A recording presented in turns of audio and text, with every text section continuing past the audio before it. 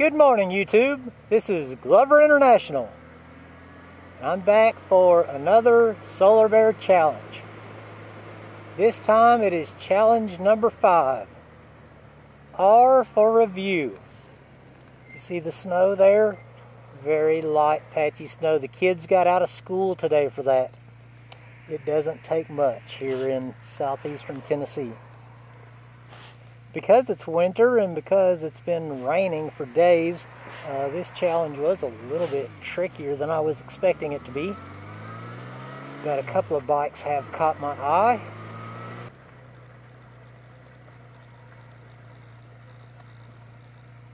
Okay, and there she is.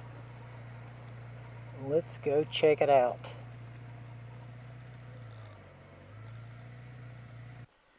Okay, guys, what we have here is a 1982 Kawasaki 550 LTD. 550 LTD. It was easy to ID because of that right there and because this uh, registration sticker is there on the stem.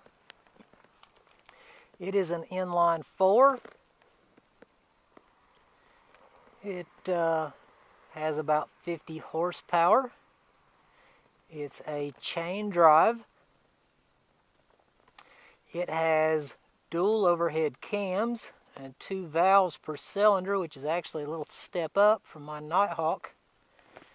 It has disc brakes on the front, one disc, and it's got drums in the back. I've read uh, quite a bit about bikes from this era, and I would say that when this was new, it was probably about $2,000. Not a very far competitor from my own bike. And uh, today, this one in excellent shape in this area would probably bring maybe $1,500. So, she looks really good. I'm sure somebody really loves it. I have no idea whose bike this is.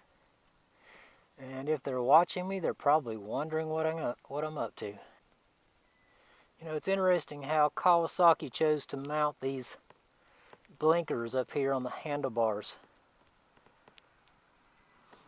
I think that's from the factory. We'll have to double check about that. Okay, I'm here with this Kawasaki LTD 1982. There's my bike over there. It's also a 1982. And I thought I would do my walk around around this bike because if the owner is watching me, surely he'll come out. So here we go. Solar bear, solar bear, solar bear, solar bear, solar bear, solar bear, solar bear, solar bear, solar bear. That's one.